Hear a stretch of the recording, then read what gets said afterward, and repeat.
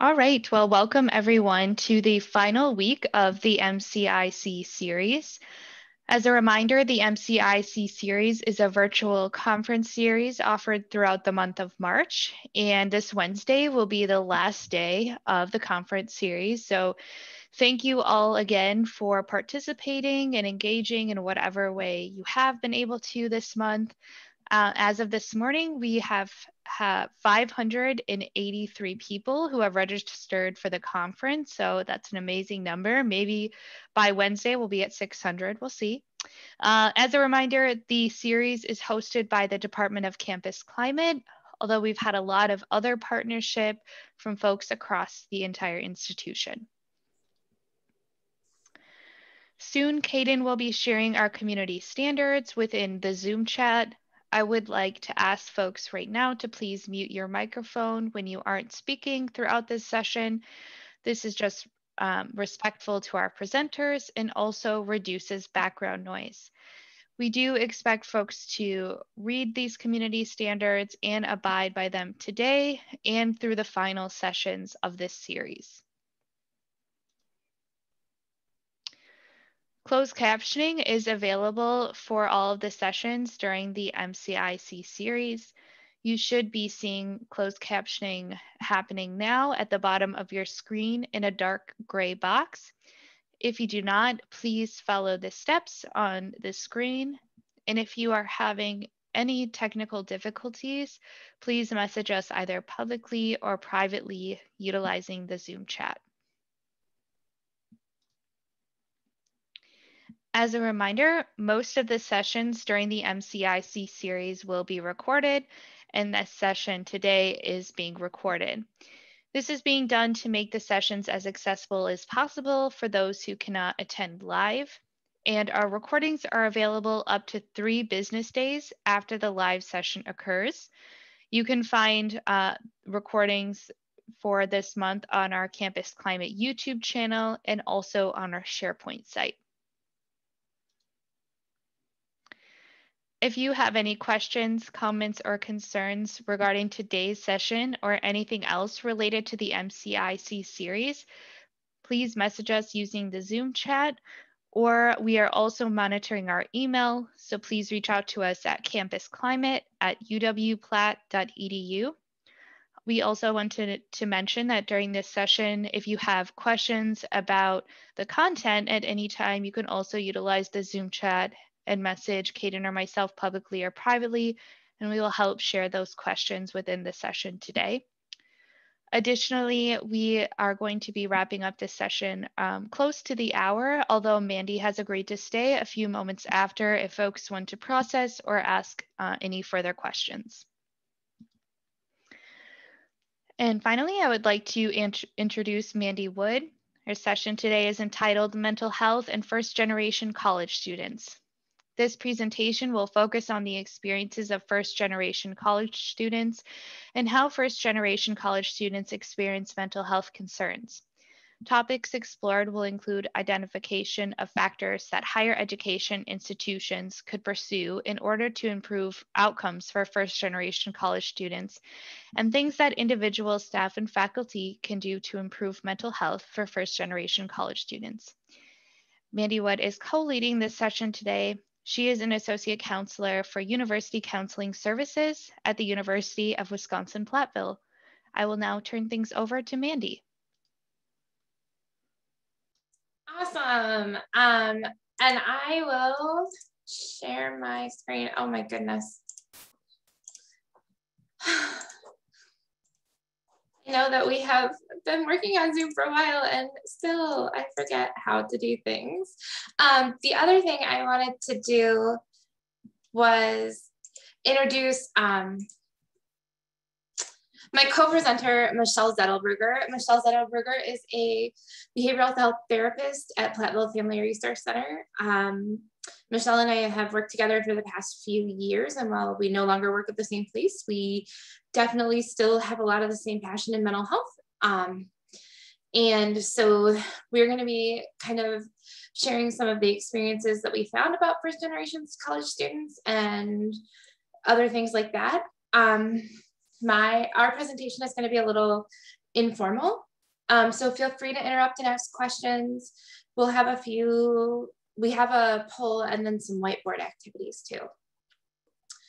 Um, so basic objectives are to recognize common concerns of mental health concern, common concerns of mental health concerns of college students, particularly first generation students, and understand the intersectionality that compounds factors for students who identify as first generation.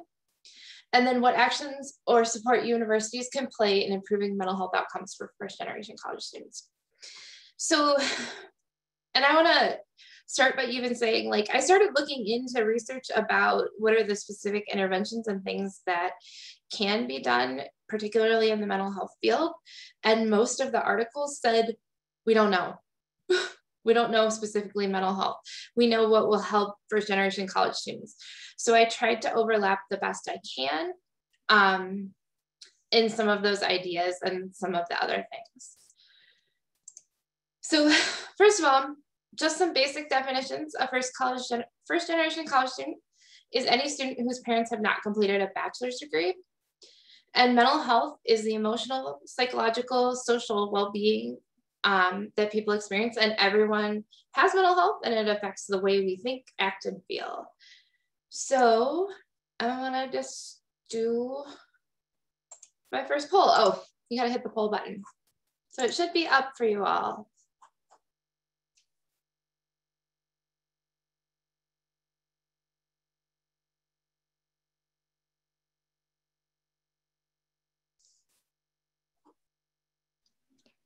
I just wanted to say really quick for those maybe viewing through Whova, if you can't use the poll, you can also just throw your answer in the Zoom chat, yes or no as well, if you'd like to could to participate.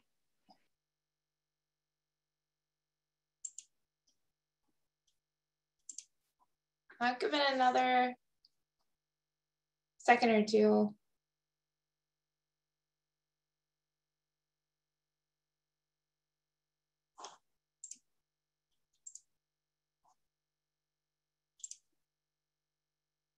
Okay, wow. We are e very evenly split. So 52% of us here are first generation college students. Um, wow, that's a, that is not the split I was expecting actually. Um, so Michelle and I are both first generation college students. So that is why we have some passion at going to this um, presentation. So I'm going to just give brief mental health background. Some of you may already know this information.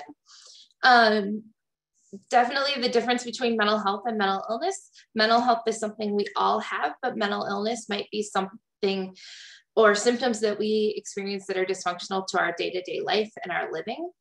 39% um, of college students experience significant mental health concerns. So those would be things like major depression, bipolar disorder, um, significant anxiety concerns or schizophrenia. Um, this statistic changed from everything I've learned. It's one in five adults in the US have a diagnosable mental health or mental illness or mental health condition. Um, and 50% of the population will experience mental health conditions in their lifetime. So to get a little more specific to UW Platteville, in knowing kind of like what our numbers are and things like that, Top mental health concerns for UW Platteville students include anxiety, stress, depression, and low self-confidence. Um, and in fall 2020, our 10-day enrollment numbers at Platteville campus show a total of 6,378 students totally enrolled in UW Platteville with 5,479 were um, Platteville campus undergraduate students. 8% of these students were students of color and 1% were international students and 38% were first generation college students. So we definitely have quite a significant um, population of first generation college students here on campus. Um, so we know there are any student who, who whose parents do not have a four-year degree other things about first generation college students are they are more likely to be older. They're more likely to come from a racially diverse background. um, to have a disability, to be a non-native English speaker, to come home from households earning less than $25,000 a year annually, and experience camp any campus climate as unwelcoming. With that being said, the mental health kind of symptoms that they might experience, um, they're more likely to, first generation college students are more likely to experience depression um, and anxiety, but they are less likely to identify a need for services. They're or they're more likely to need the counseling services, but less likely to utilize it than other students. And some of the reasons that came up were the location of where services might be, be being provided, the time in their schedule, being unaware, um, cost of services. Well, that's not a problem here at UW Platteville many other campuses do charge for their mental health or their health services. And then the hours were inconvenient. Um, and going back to that intersectionality piece of first generation college students might come from racially diverse backgrounds, their staff on the counseling services may not have a person of diverse background. And so that limits their involvement in um, utilizing those services on campus. Um, other things that kind of came up about first generation college students, um, there's a strong belief that they need to be self-reliant, not burden others, including staff and faculty, have increased demands for their time from work or from family or work, believe that things won't get better for them, perceive high levels of judgment in using support services on campus. So I know Michelle had a lot of personal stories about how how this comes up. Um, seeing providing therapy, and then I even know like I mentioned to my own therapist that I was doing a presentation on this, and she told me that her parents didn't know that they were supposed to come to her to drop her off at college. And so she was all alone that first day. So I'm going to hand it over to Michelle to share some personal stories.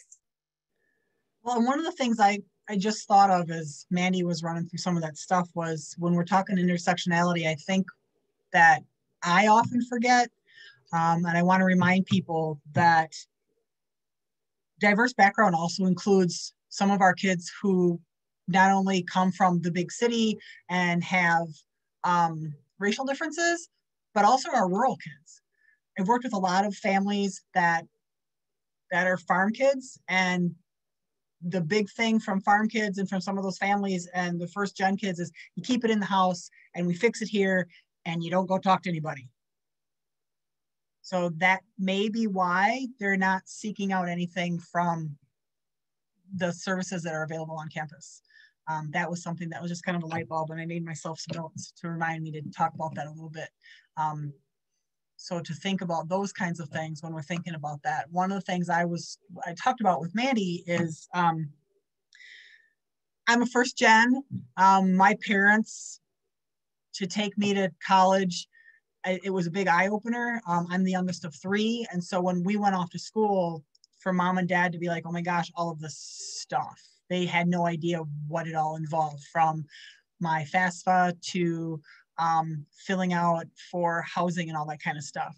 So when our, we have twins that are graduating in May, um, and they're doing all of that now. So even when we are sitting down and talking with them and trying to help them understand that you're taking on this loan and yes, you have to sign and it's yours. They put a lot of pressure on themselves that they're like, oh my gosh, there's great big loan. And, and if they already have anxiety, um, that gets exacerbated. So when you go forward to some of my students that I have that I see in my office, they already are anxious. So coming in as freshmen, they're already anxious. They may not have had the counseling services in their junior, senior year in high school, and now they need to figure out how am I going to deal with my anxiety? I'm coming to college. My parents are expecting all these things of me, and I'm expecting all this stuff of me, and their anxiety gets in the way, and their grades drop. So they need to find a way not only to manage their mental health stuff, but to manage their grades and how am I gonna get all my homework in on time and how am I gonna manage, you know, trying to figure out homework plus I wanna hang out with my friends.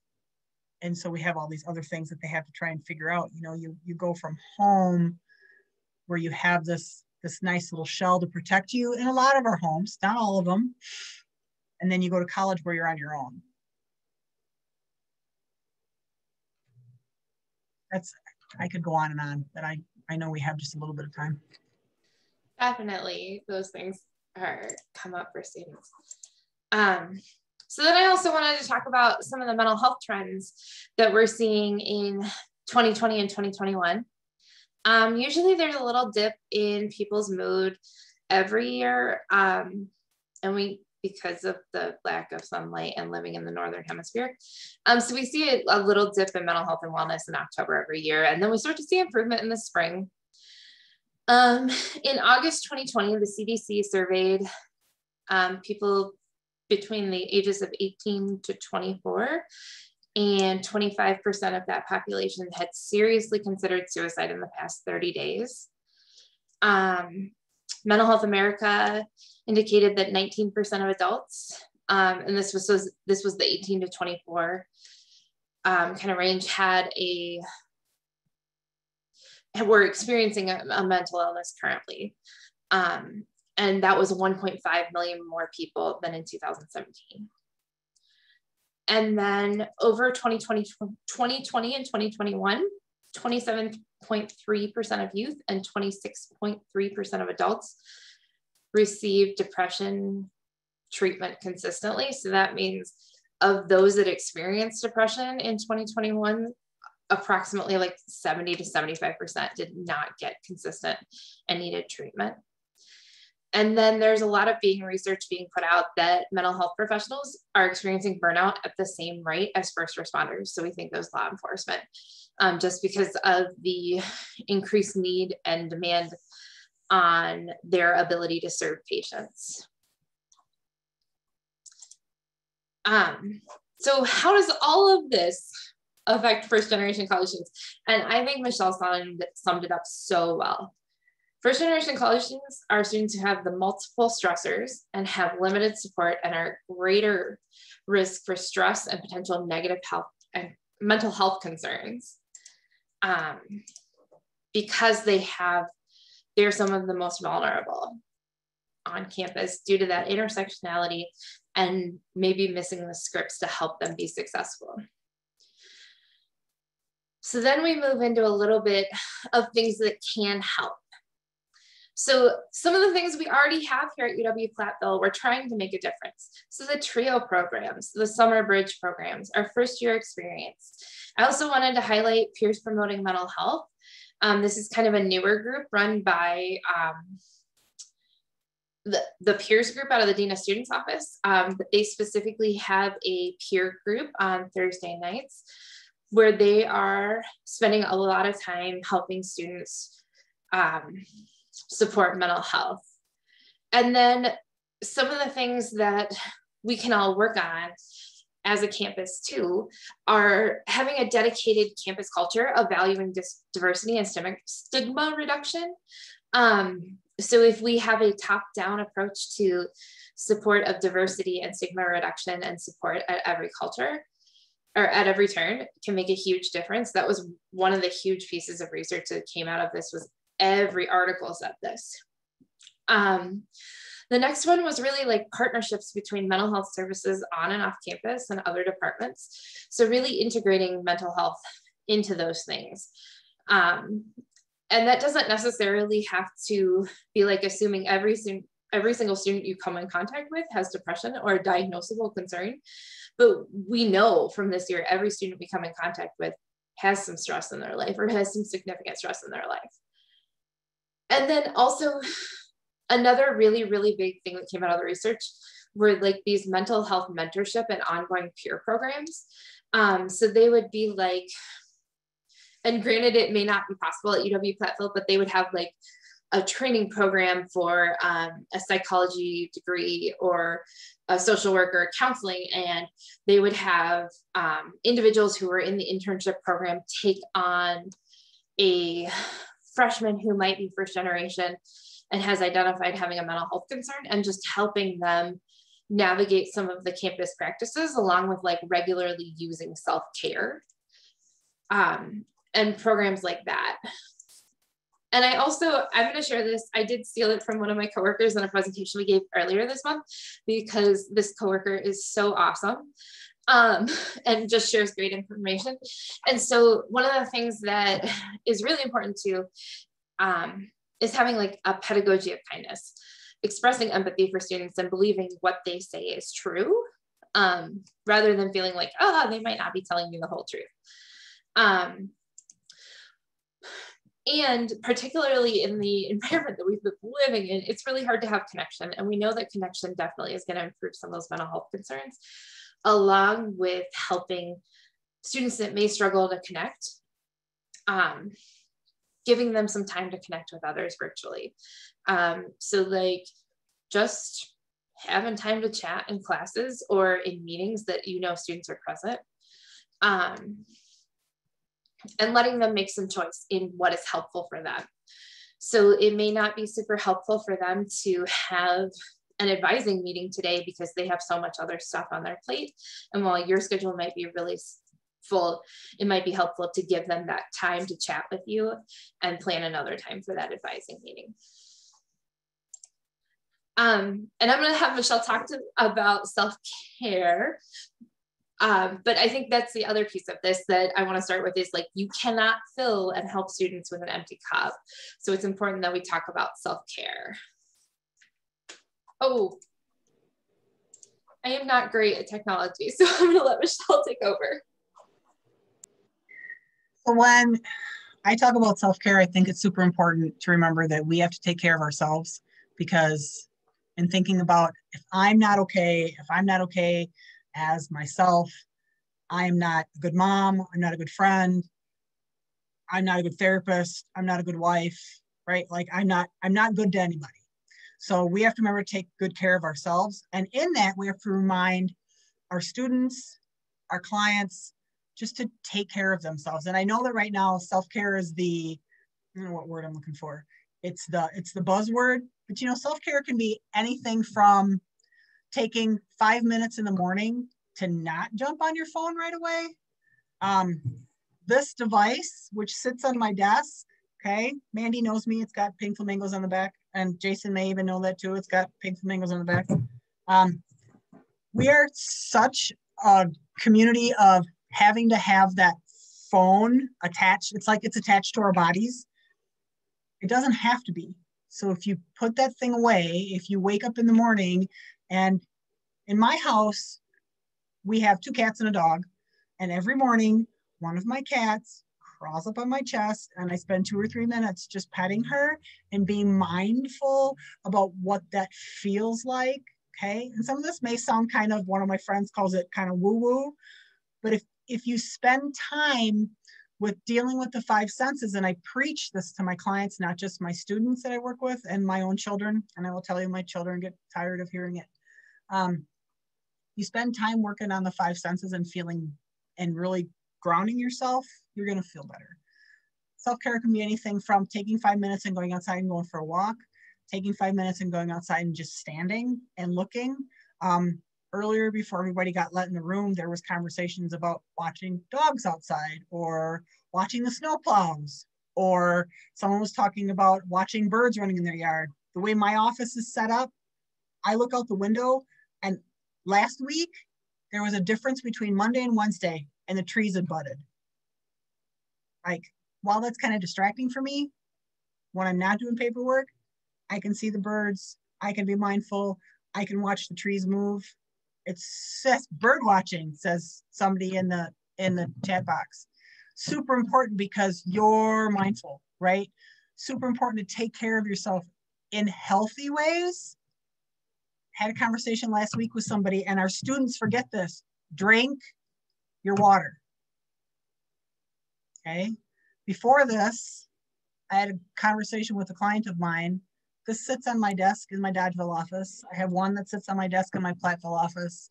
I carry one in my vehicle. Drink your water. Guys, if you don't drink water, your brain's, thank you, Emily. If you don't drink water, your brain's not going to work. Okay. Your body's not going to work. You don't function. Our bodies are made of water. Okay. If you're tired, the other thing I talk with my clients about, if you're tired, sleep. Like take a nap.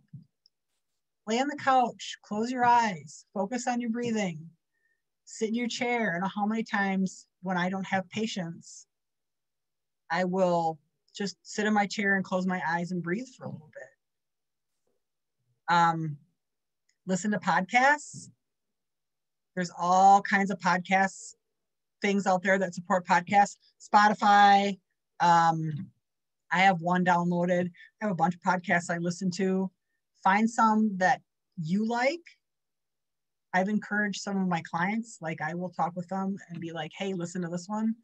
Um, Mandi knows I'm a huge, huge, huge Rachel Hollis fan, huge Dave Hollis fan.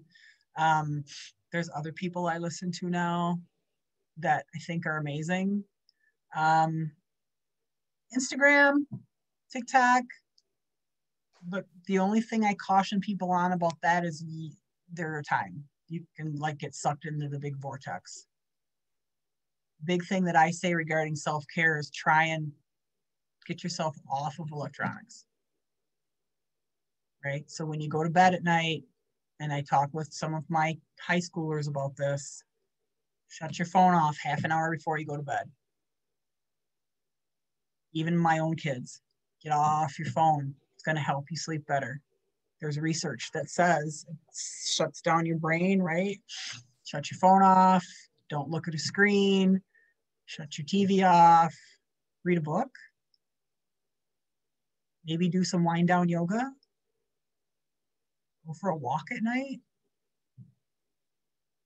something, right?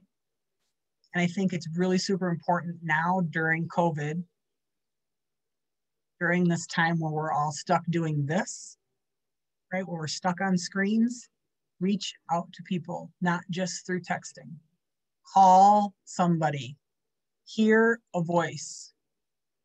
And if you can go for a walk with a friend and do it safely, man, go for a walk. Do it.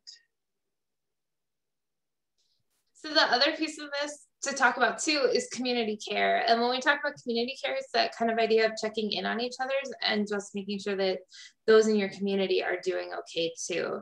Mm-hmm. Um, and so I know there was uh, kind of a statement or comma in the Whova app asking about like making sure to check i want to make sure i have it right but that that support for everyone in our community that um, know what's going on with people and that's kind of the idea of community care is what's going on with those in your network are they doing okay and offering support with them with the energy that you have. If you don't have the energy to support them, not offering what you don't have.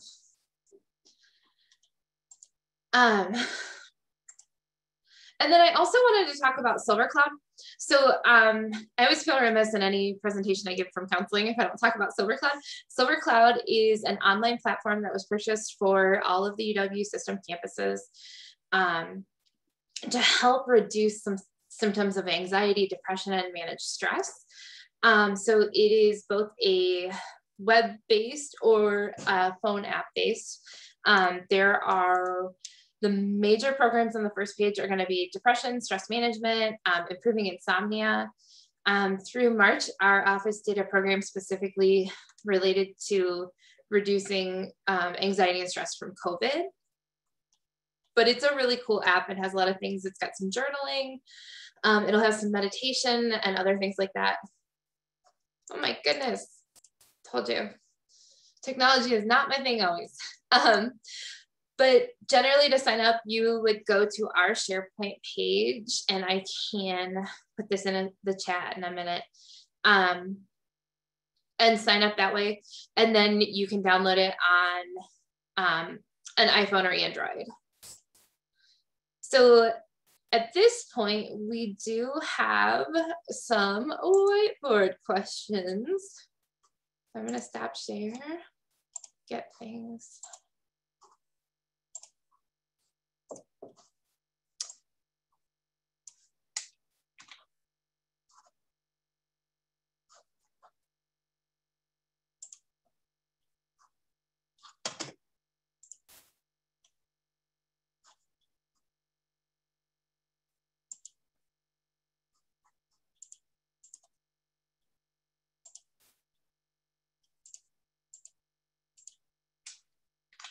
So our first kind of question for anybody in the whiteboard is, what have you noticed with the first generation college students you work with?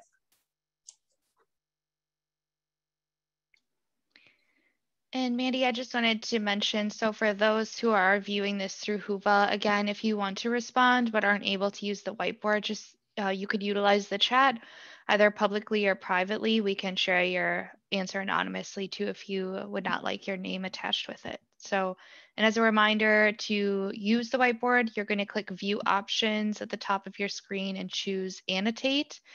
And that should give you a little bar um, and options for uh, writing. So sorry, thank you.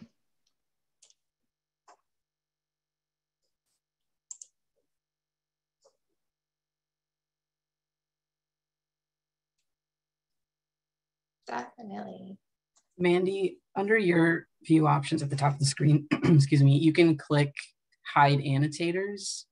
Um, and that'll oh, keep the board. I did that. I'm sorry. No, that's okay. Just in case you, you want it to be anonymous. Yes.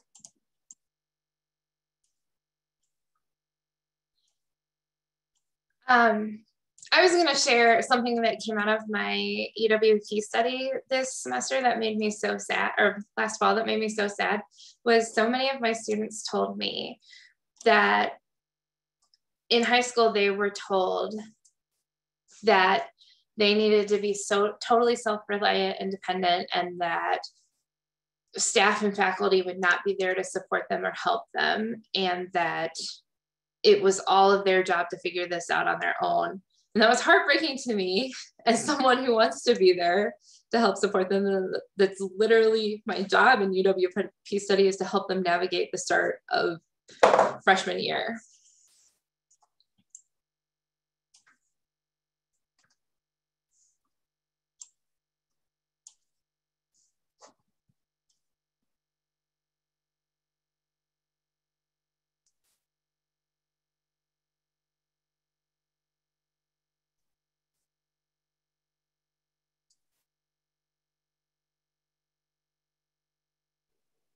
One of the things I wanted to add that I that I learned from some of the first geners that I work with is that they don't realize that they can change their major.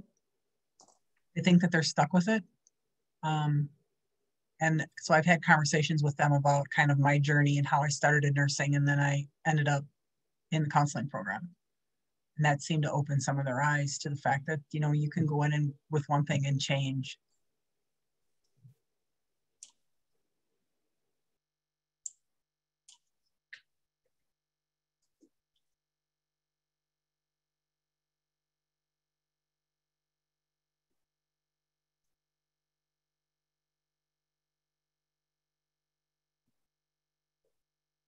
how I think these are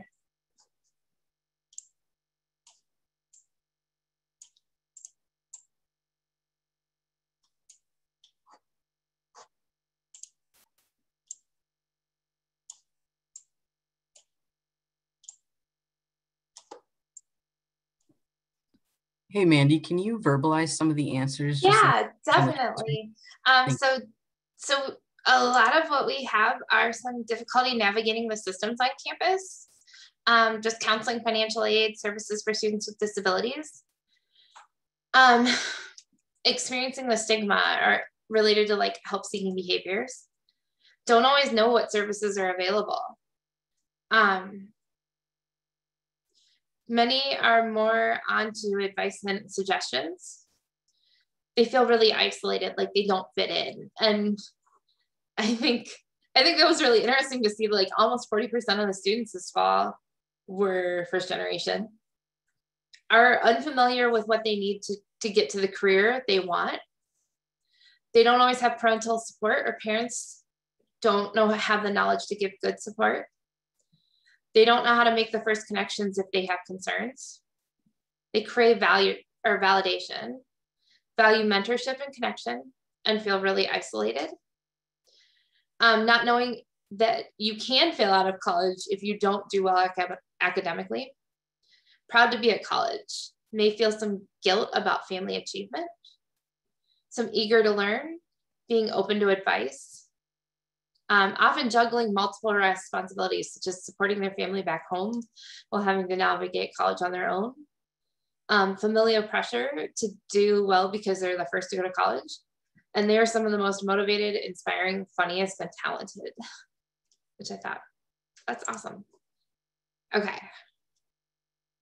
And I know we're doing pretty well on time, so I am going to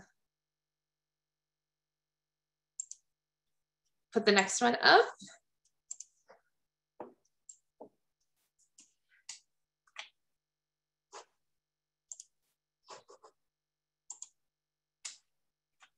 What have you done specifically to support first generation college students?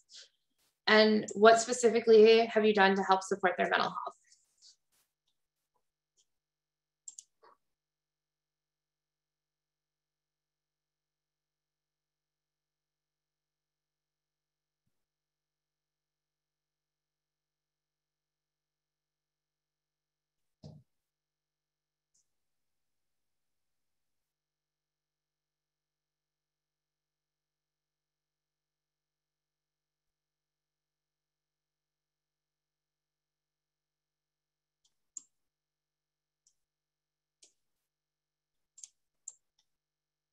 So meeting with them as often as needed, refer to CS and other supports on campus, um, trying to validate that they belong here, sharing your own first generation journey, relating to them since I was first gen, spend extra time with them on appointments and remind them of resources on campus and help make first connections. Reach out more frequently. Normalize their feelings that they're experiencing encourage them to join TRIO our student support services or TRIO student support services.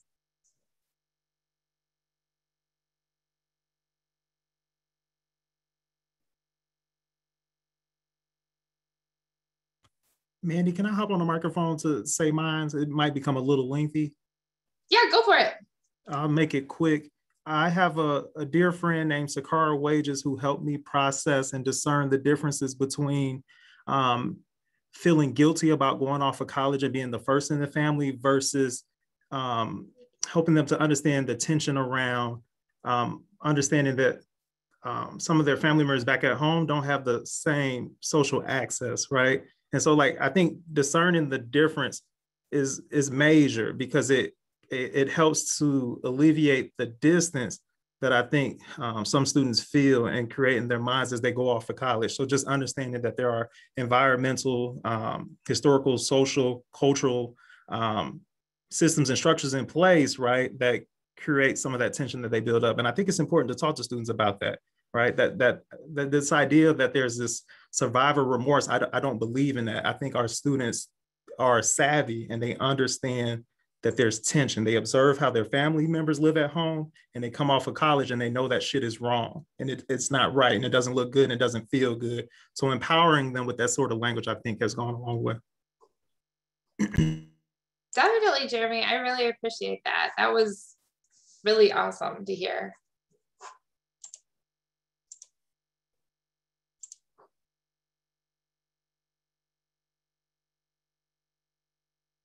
Um,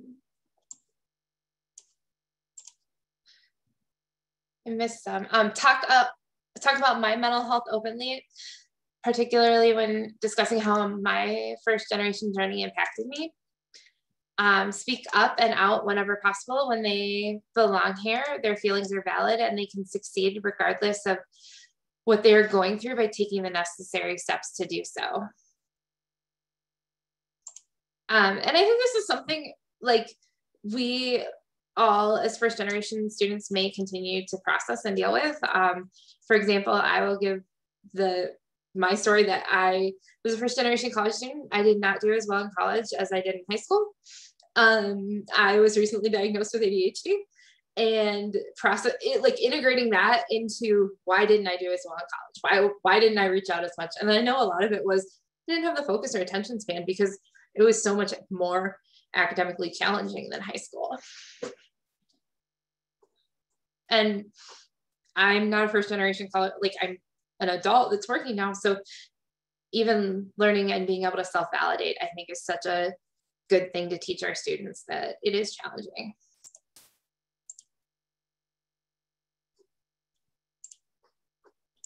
I think the other thing to remember too when you're thinking about first gen stories is, you know, when I, when I think about my first gen story when I was a freshman, um, as I had shared, I came in as a nursing student, but not only did I lose my grandfather, I lost my uncle in the same year.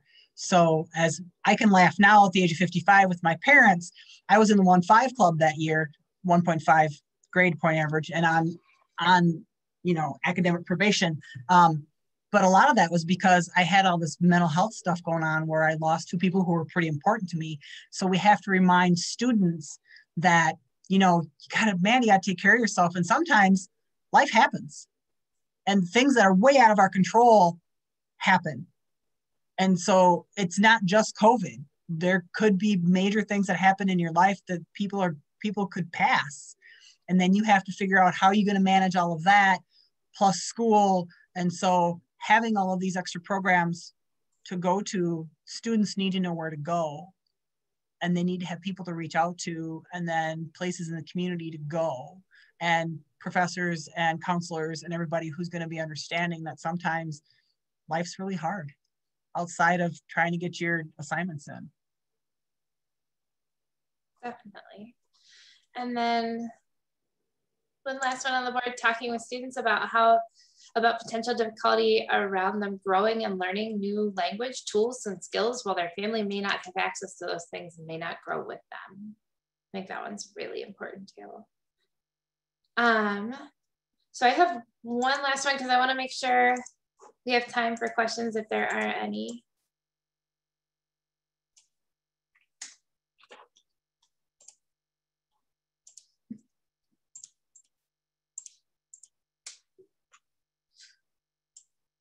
What support have students sought from you specifically in this virtual learning environment? Because I think that's really unique and challenging to what we're experiencing this year. Um, Mandi, can I just add what Deirdre said? Yeah. Um, kind of on the coattails of what I was talking about. And life isn't only hard when in a pandemic, and hope we all can remember that come fall. I think that's very true. Thanks, Deirdre.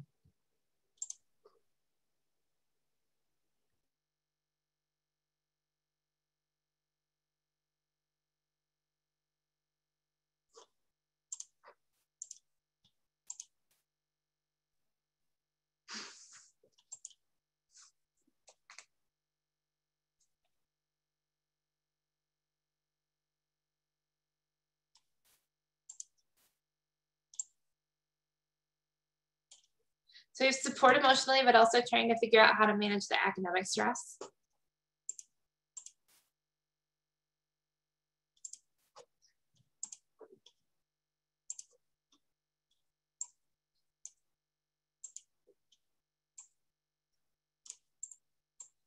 just an opportunity to process and troubleshoot this different learning environment and an increase in students requesting accommodations to mental health. They want to have a check-in more often than usual, sometimes weekly. They're asking for resources such as co or counseling services, just the mental health challenges. Um, honestly, very little. It is hard to get students to communicate their needs, even though I can see they're struggling. Definitely very true. Um, a sounding board, listen without responding. Students struggling with being able to balance everything going on in their lives. Students have used me as an outlet to speak on how difficult this whole time during COVID has been. I am not a direct advisor, but they know they can come to me with emotional support as well as real conversations. Money with no strings. a culture of care.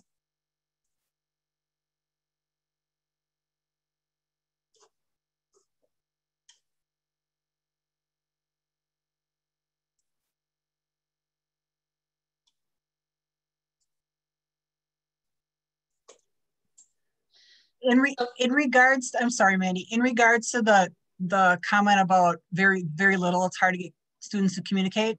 I think even just letting students know that you're there just by pointing out and being like hey i'm wondering if you're okay. It appears to me as though and they may not tell you anything but sometimes just knowing that somebody notices that you're not doing so good would open up the door for them to stick their foot in later and come talk to you about something that doesn't seem like it's mental health related, but may be the opening for them to come back later and say, hey, I really am having a hard time.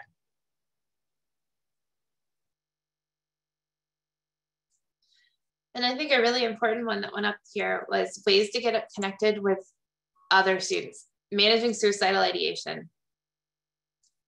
Definitely. We know I mean, that was in August that that um, study was done by CDC that it was 25% had considered suicide um, in the last 30 days. And I haven't seen a new a new study about what that is.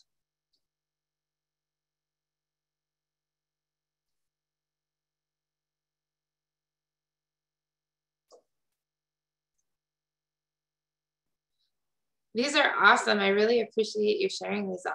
I am going to go back to the PowerPoint because I think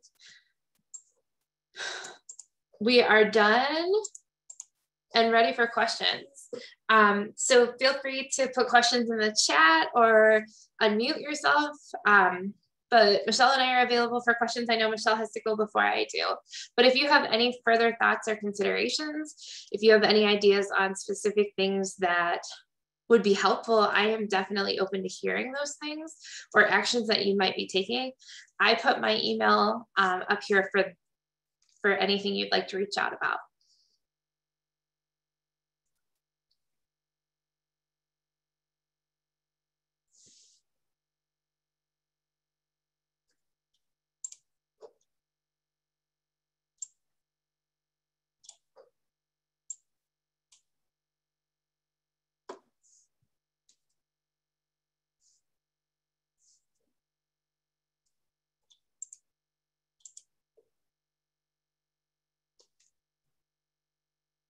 I uh, just wanted to add a quick thought. I think something I don't directly like advise students or work directly with them usually, but I think something I've seen from a lot of my colleagues, especially folks in the OMSA office, is just being really, um, I think, down to earth and genuine with students. So when asking like, how are you doing with this pandemic? You know, when students are, are looking for support, just being met with honesty, like, yeah, we're all really struggling. Um, obviously students have different pressures, of course, different responsibilities and things. But I think that's something that I've been seeing more and more often from my colleagues that I think has been really cool. It's just that vulnerability and of course not just like info dumping like let me tell you about all my problems but just like this you know like i think general authentic camaraderie of like yeah we are all having a really hard time what is that looking like for you i i just think that's been kind of a cool dynamic i've been seeing more and more I will say that has been actually a really nice part too, is even though I work directly with students, it's been good to connect with other staff and faculty in that way of like that idea of community care. How are we going to support each other in getting through this so that we can continue to support students?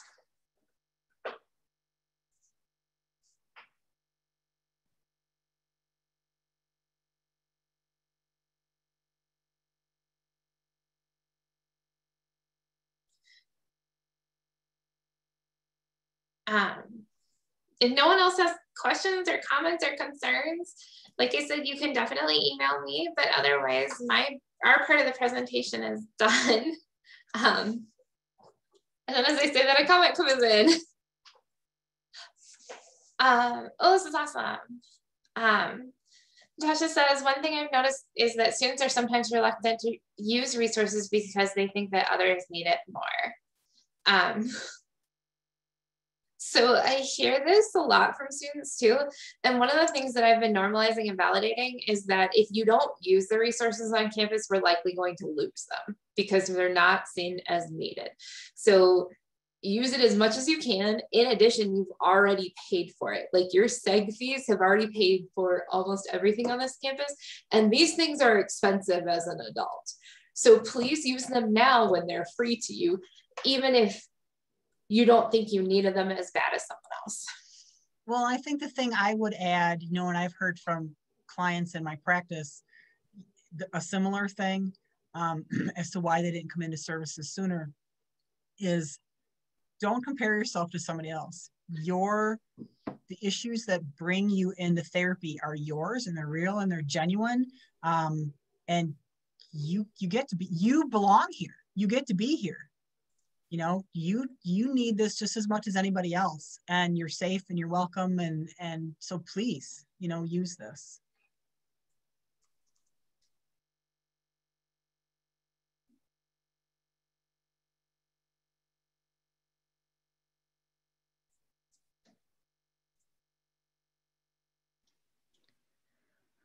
Well, I do want to thank folks for being here today, and thank you to Mandi and Michelle for presenting. Um, we will stick around at, um, till the hour if folks would like to ask questions in maybe a little bit of a smaller setting. Uh, thank you for continuing to engage with the MCIC series, and I hope you have a great rest of your Monday.